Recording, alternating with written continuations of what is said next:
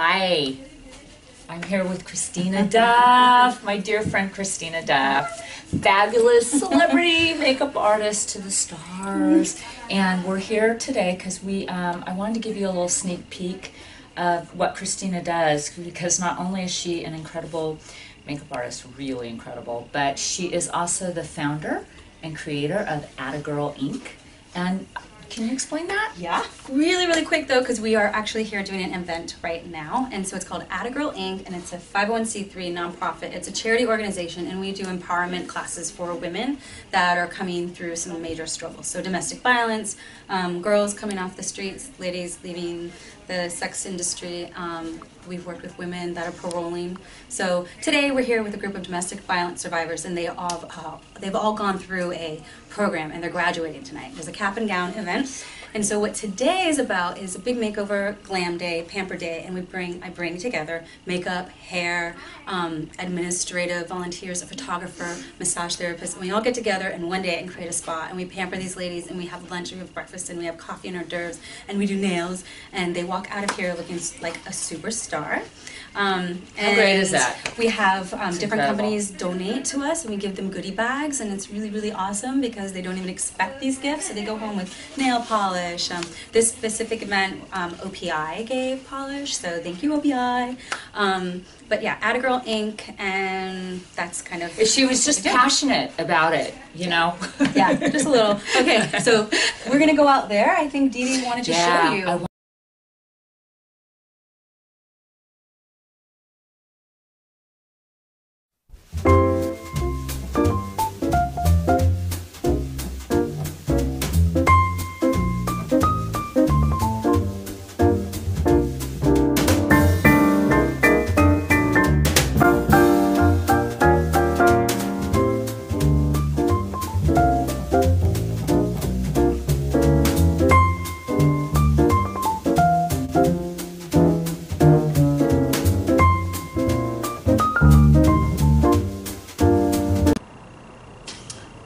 So glad you found the time to sit down finally. Kristina is one of the most phenomenal makeup artists I have ever worked with, and she's also a new mom. So we have a sleeping baby. so we're going to try and get through this really fast. Anyways, um, I wanted to have Kristina here with me to introduce her to everybody because I think she's really a phenomenal. She's a great makeup artist. She's a great woman. She, um, you just saw that we were at Attagirl Inc., which is her charity, and um, I, I want you to talk a little bit about that before we get into how you even got into the makeup industry. Okay, so you want to go over yesterday a bit? Yeah, I just, you know, it was so phenomenal seeing all those women and everything. And I just, how did you, how did you just come up with that, to do that? I was doing a makeover, and there's a long story, short story.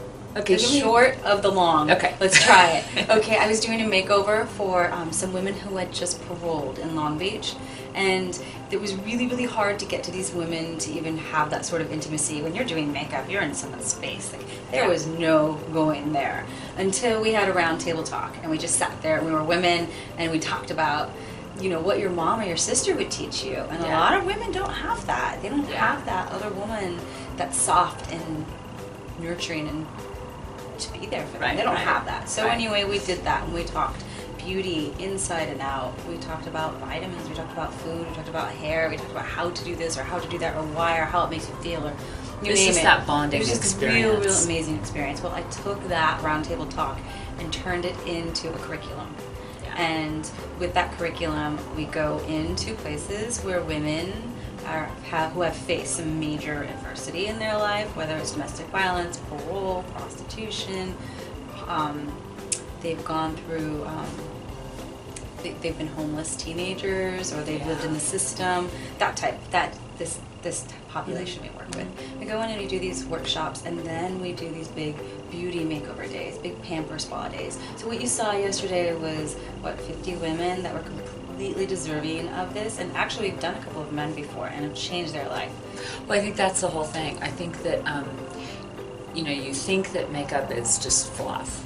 And mm, yeah, sometimes it's just fluff. But basically it's how it makes you feel. It's it's you're taking care of yourself and you're decorating yourself and you, you feel better and you know and, and for people that don't have that for people that um, need that extra help or have bad skin and, it, and we can camouflage it and change it to Or- the outside world that that also that's you know it's it's nice to be able to give someone that It is. You're giving them that. Plus, a lot of these women are in a transitional spot in their life, and they want to learn. They want to better themselves. Some are starting school. Some are going to new jobs. So now all of a sudden, they need to learn a presentation. Maybe they have never learned in their life. Right. So that's where it started. I decided I had this gift, and I was going to utilize it. I commend you. Thank you. We all do because I think Here it it's is. it's Atta Girl Inc. It's it's really You saw it. important I was what we know about your charity. I want everyone to get to know how you arrived at being a makeup artist, and was this something that you wanted to do your whole life? How did that How did that happen? I know that you were born in California, right? I was born in California, raised in South Florida, Okay. and then I transitioned back here when I was 25. Well, how did That you get? you no, much. that doesn't tell me. I want to know. Okay, you were born here, then you went to Florida, Mhm. and then how, when did the makeup thing show up It was? I was born with it. I got into my mom's makeup when I was in kindergarten. I remember getting in trouble for that. I took clown class, makeup clown class when I was a fifth grader, and we used to entertain the kindergartners. oh, Um, right. I took a theater class, a theater camp one summer, and I wasn't on the stage. I was behind the scenes doing everybody's makeup. Right. So, it's you just were just born with that natural. Yeah. Exactly. Yeah. I like to make things pretty, and I like to take care of people and make them feel really good. Yeah. And then, so how did you how did you end up in LA with that talent from Florida? I was doing skincare. I was working for a prominent um, dermatologist in Palm Beach, Florida. I had a really great business as an esthetician and a wedding makeup artist on the weekends. So full time, full time work. I went to Vegas for a conference. I won a makeup contest. So I won a scholarship to Westmore Academy. Aha. So I decided to take advantage of that and make this big life transition and move to California. And Wow. that's what I did. What did your parents think? They were they they they, they, You're were- going to California to be a makeup artist. they were excited for me. They've always been really supportive for me. This was a real transitional time in my life too, so it was kind of like, let's see what's gonna happen. Yeah. happen. But it's so scary because there's never a guarantee when you go into makeup where you're going to end up or if you're going to work all the time. But you know, you really I think it's a You have mindset. to, you have to work so hard Yeah.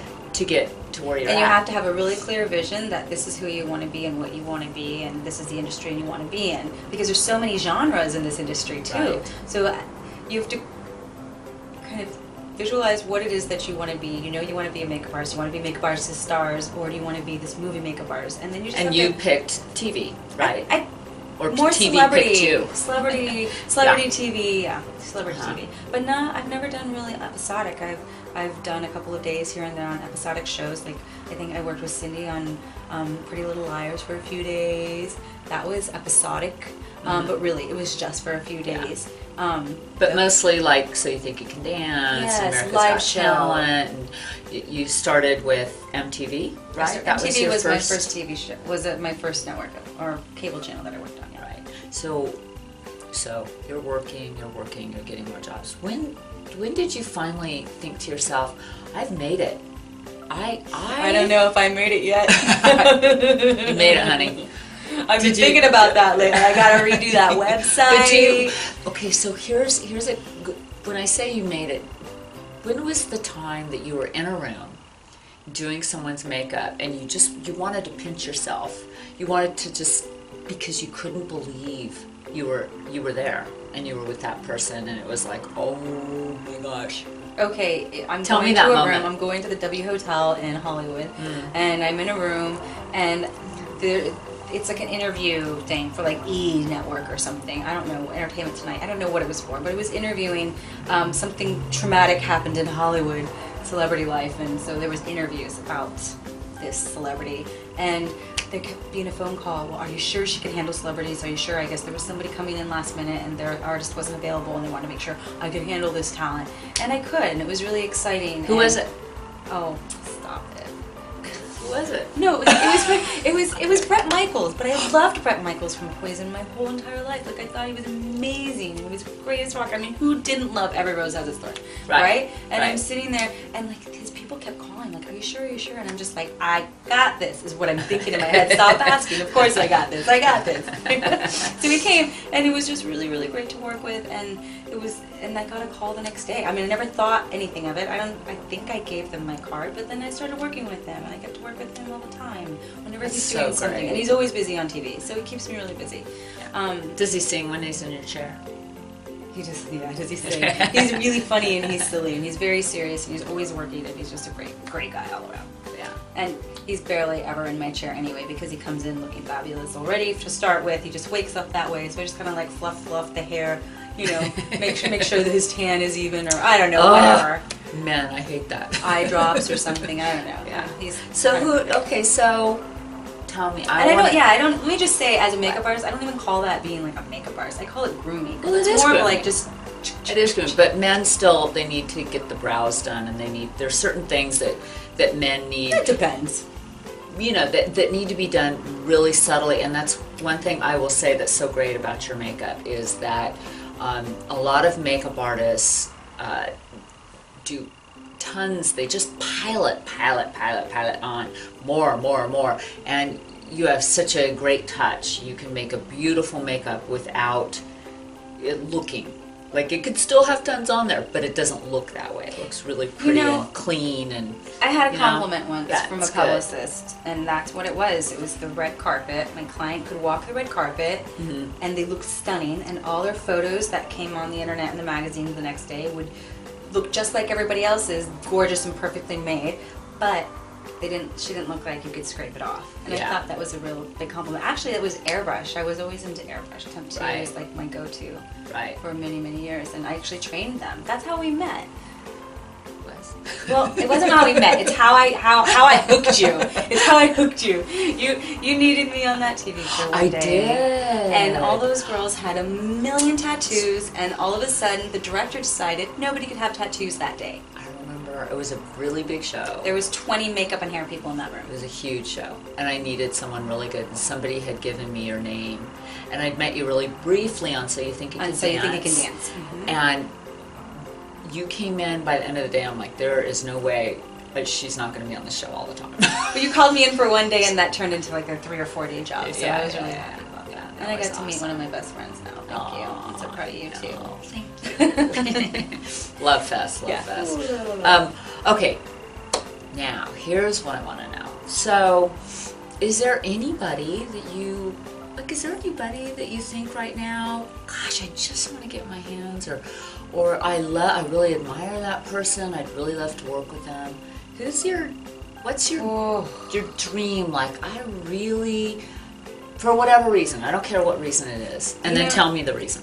it's not it's not a specific person i think i just really I've, I've been on maternity leave so i haven't been doing makeup and i've just looked at pictures and i'm just ready some really really i am ready for some really uh-huh. fresh faced models i want to work with models i want to create with makeup i love doing celebrity and i always want to keep that there it's so much fun when you get to do a red carpet and create the look and create their dream look for that that that day. I want that, but I also want to create like for campaigns, for advertising. That's what I want. Yeah. I'm, I'm ready for the art of it. You know, you you sit here next to me and you know me as a makeup artist because I've worked right next to you and you've Right. seen the things I've done. But when I look back at my portfolio, because of the work I've been doing, I don't have much to show. Yeah. And I'm like, I just want to make some really great magic happen that can be printed out in, in a Yeah. magazine. Well, I think the thing is now with Instagram and you know the different social media, but mostly Instagram, you really get to check out makeup, and I think that th- I feel the same way. Sometimes I I go through my makeup and I know it's good, but in the moment when you're on a TV show. You don't, you know, you can't sit and do a whole little photo shoot with your talent No. because they're hitting the stage and, and it's just not, this is not how it is. yeah, it's not etiquette. It's not professional. I mean, Yeah. Yeah. So some photo shoots, I- some still shots. Yeah. What now? I think that when you're for me, I really feel when you're a makeup artist, you a lot of it's talent and a lot of it's personality and being careful with your talent. And like you said, just being nice, being professional. You know, um, what advice would you give to someone that is you know, maybe they've done a little bit of work, but they're really trying to get in there. What what would be some advice that you would say to them? What would you tell your younger self? What would I tell my younger self? Um, you've got a lot to learn still. Slow down. it's okay. You can be an assistant. You can be an assistant. There's a reason they're the one that has the job. You know? Yeah, so you think training under people is is a really good way to to groom to be groomed to handle being with a top celebrity to to watch what the other people are doing. Yes. Yeah. That's a huge, huge benefit. Like you just you can't just learn by looking. I mean, I learned by looking at magazines and doing makeup on your friends. Yes, and taking pictures, and it looks great. But you've got to know how to do makeup, like very, very light-handed. You have to know how to make up very heavy. I think it's harder to do a light-handed, natural, perfect makeup than it is really beat on Yeah. contoured makeup. They're both fun, but there's a time Right. and place for it all, and you better be really good at it all. I think you have to be personable and nice and at least smile at people when you're on set. I think it's important to learn set etiquette. Set etiquette. Set etiquettes. I think it's important to learn that it's not the the you show. You know, It's not? No, it's it's not the Kristina show when you go to work. You know, it's you're there to support the celebrity. And Right. the other thing I would have told my younger self was to go and stick with the agencies and to to have gone to the agencies first year out here and have worked as an assistant that way. That's good advice. Well, I didn't know that that was the way that I really wanted to go. Like there's so, again, there's so many genres. Like Right. I like commercial, print, advertising, celebrity better, and that's more the agency world. Right. And there's somebody that oh, that's the thing. To be open to support, um, and that it really does truly take a team to even just be a makeup artist. Yes, It's it does. okay. You need your friends. You need your support team, and it's okay to have some like managerial support. I think that would have been fabulous to go that route. I can still go that route. I need to, I need to go that route. But um, yeah, I don't know. Just have fun and be light, and it's okay. It's all okay. Just say yes. Be the yes man. Yes. Can you go get my water? Yes. You know what? It's you- really interesting that you say that. The last person I interviewed, which was Dean Banowetz, Mm, right? mhm. And he said the same thing. He said, always say yes. That so there you go. Here we go. Two people. Same Yes. same advice. Two very top people. So It's step out of the trailer for a moment. Yes, no problem. Don't make an excuse why you need to stay in there. Just shut up. Yes. Um. no attitude. mhm. Do what you say. Smile. Be friendly. You know, much more. My mother would say, "More you get more bees with honey." Who wants? Who wants bees? But yeah, you do. You know, yeah. Maybe the bees. Never mind. Okay, I'm not gonna be funny because it's not funny. But I think you're right. So I think that that, you know, for everyone out there, I think that those are great words. And now you've heard it from two of the very best. Nice. Say yes. So thank you so much for. I can't believe Lucas slept through the whole thing. Yay! He's still sleeping. I can see him on the monitor. Oh, cute. I know. Thank you all for watching us. Yeah, thanks. Thanks. We'll see you next time. And thank you, Didi.